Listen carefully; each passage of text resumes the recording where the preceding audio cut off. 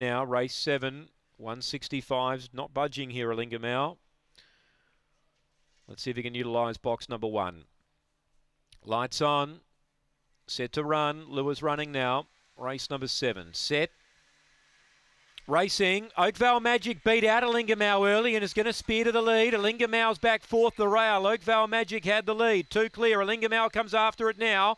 A length away to Spring Cuervo. Railing up was Patrick Francis. A gap to Just Kenny. Well back was What a Key. And out the back and last was Time Lord. They've got to Oakvale Magic. Grabbing it Alingamau. Two lengths away Spring Cuervo running on. Up to the bend. Alingamau clear. Oakvale Magic sticks on. Railing up Patrick Francis. Alingamau hanging on. Does enough. Second Oakvale Magic, third Patrick Francis. They pulled clear of Spring Cuervo. Then what a key. Gap away to Just Kenny. And last in was Time Lord. Time's around 30 even. So around 30 even the time. And uh, the winner, the favourite, Alinga Mao, has run them down to win. Alinga Mao defeating two Oakvale Magic. And third spot, number eight, Patrick Francis. One, two, eight.